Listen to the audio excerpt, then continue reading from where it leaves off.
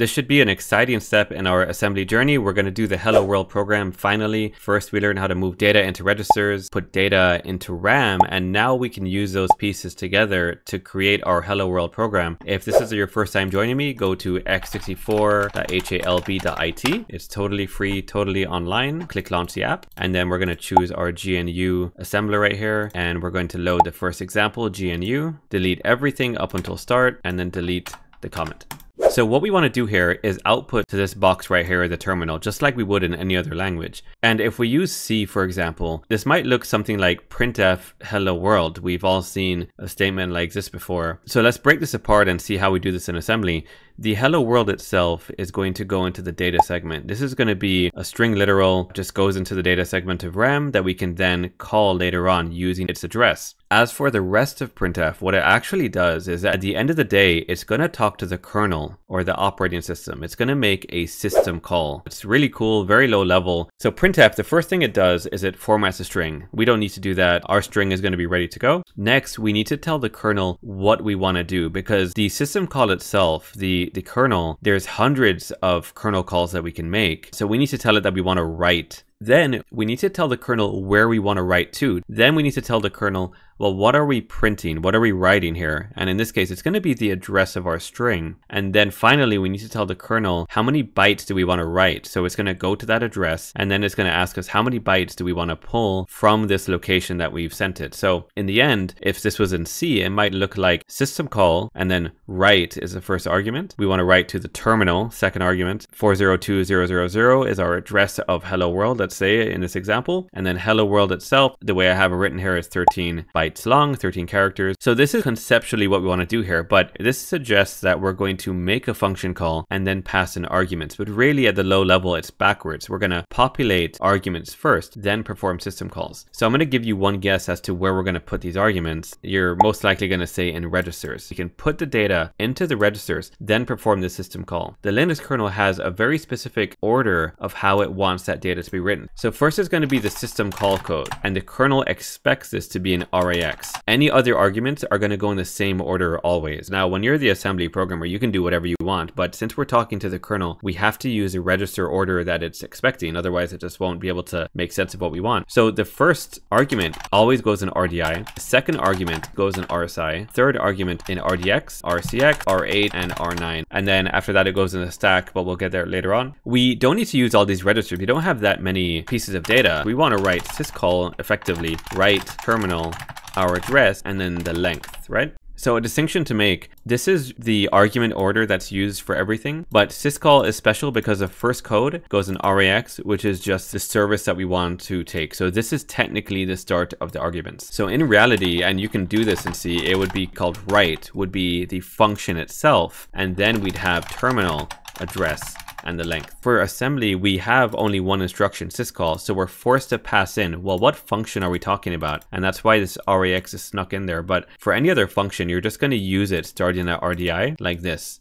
So let's get started here. We have to fill these in. The syscall for write, the register RAX, is expecting code 1. So we could just put that in to move to RAX 1, and this is going to be syscall write. Then we know in RDI, we want to put the terminal. Well, how do we tell it that we want to write to the terminal? It's another one here, and this is technically, it's called standard out. So we're telling the kernel that we want to write to the standard output, which in this case, the terminal is going to pick up that data. Now what we want to do is tell it the address of what we want to write. Now we don't have it in memory yet, so hello string, let's say, dot byte, and then we can put H, E, L, L, oh. But this is very tedious, of course, so they actually have shorter ways of doing that. I'm just illustrating to you that each letter is really just a byte, and you could spell it out this way. So why don't we leave it as hello, and then we'll get to hello world in just a second. So we have our data here at hello string, so now we can load the address of hello string, right? Which is technically this first entry's address. So we want to write, which we have right here, to the terminal. We have RDI, and then we want the address. The next register in the order is RSI. So we're going to load effective address to RSI, and we're going to put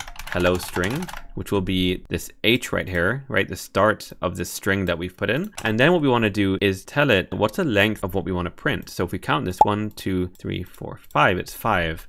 So we can move two, and the next one on the list here is RDX, and we're gonna put five. So now we've set our arguments. We've filled all this data in, and now we can pull the trigger on syscall.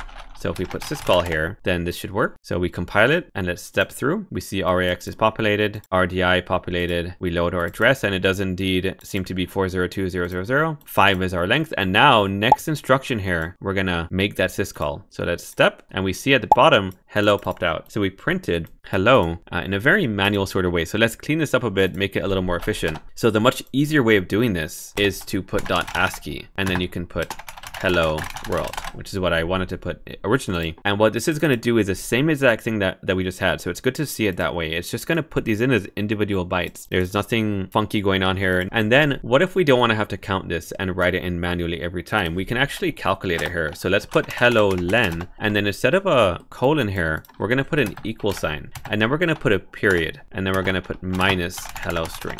And what's happening here, it looks a little cryptic, but what this is saying is the position that we're in now. So in other words, at the end of the string, we want to subtract the memory address of hello string from the end of it.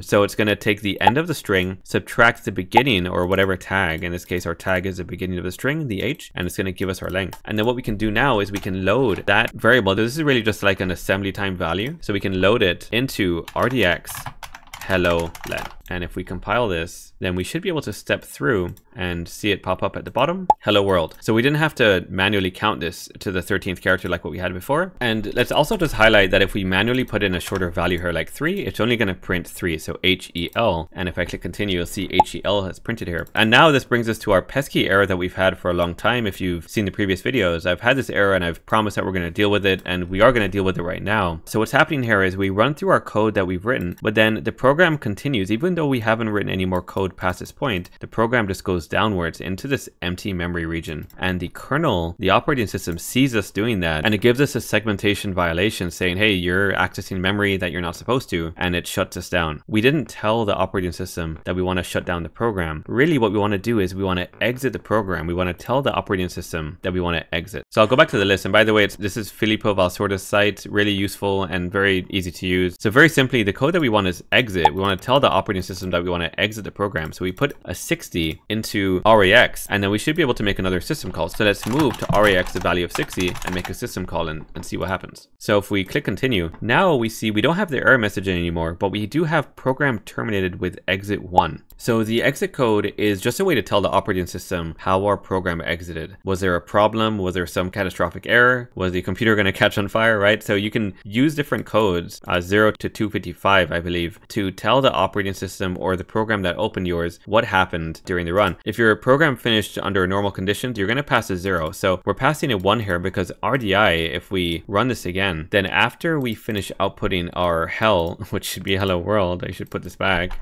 then we can see that we're going to move to RAX a value of 60, which is 3C in hex, but RDI still has that value of 1 that we moved here. So really what we'd want to do is move to RDI the value of 0, or we could use a slightly better idiom, which is to XOR RDI against itself, which will just zero it out, exclusive OR. Just good to start adding some of these things in. So if we compile and run this, then we do get our hello world and we have a very beautiful program terminated with exit zero. This is exactly what we want to see. We've gotten rid of our error message and now we're properly exiting our program. We're doing everything that we want to do and then we exit the program.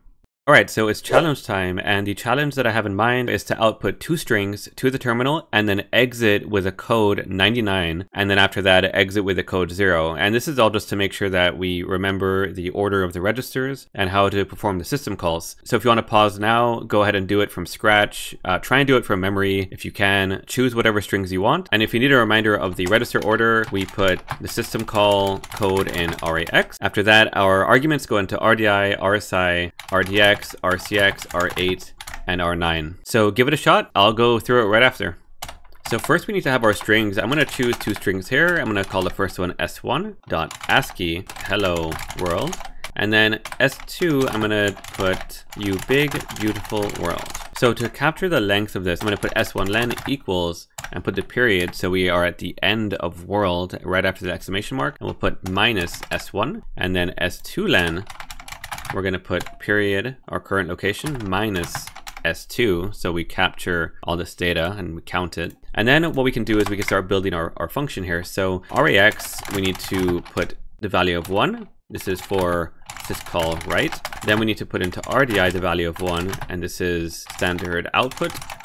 Terminal, you could say. And then we need to put our string into RSI, or the start of our string, the character pointer is technically what this would be. So that's S1 here into RSI. And then we need to load our assembly time variable, which is S1 len into RDX for the length of our data. And then of course we need to make a syscall. So if we step through this, then we do have hello world come out here very nicely. And then what we need to do at this point is just duplicate this entire thing. And in the next video, what we're going to do is we're going to put this into a function that we can call. But for now, let us repeat it. So after that call, RDI is still 1. However, RAX has changed because the system call is actually returning a value to us. So basically, we just have to reset it back to 1. So we're going to move 1 to RAX. And we see that RDI hasn't changed here, but I'm going to just redundantly put a 1 again. And then we can load S2 and we can load S2 len and perform another system call. So if we run this, then we do get our error message that we'll deal with again, but we get hello world, you big beautiful world. Now there's no space between them. Uh, I want to add a line break, so I'm going to put slash n. So if we run this again, we do have hello world, you big beautiful world. And then now we just need to exit the program, and that's exit code 60. And I wanted to put error code 99. So let's run this and see if we get 99. So we get hello world, you big beautiful world, and we do get exit 99 here. And then ultimately we want it to be zero because our program ended properly, no surprises. So everybody knows our program was a success. This is very redundant here. And really what we want to do is have a print function, right? Print. And then we'd move this in sort of, We'd need to modify some stuff. And we'd want to be able to call print twice, right? Passing in arguments so it can print dynamically. We could pass in S1 first and then S2. And that's what we're going to do in the next video. We're going to look at the jump command, which is how we control where the CPU actually loads code from. And we can jump around our, our memory and execute different functions. So it's going to be a really big step because after that, we can actually build real programs that do things. Because right now, we're sort of stuck going straight down forever. And the CPU needs to intelligently jump around into different functions. So that's what we're going to do next. So thanks very much for joining me. I hope this is useful for you and I hope that you're having fun getting into assembly. Thank you very much for watching and I will see you soon.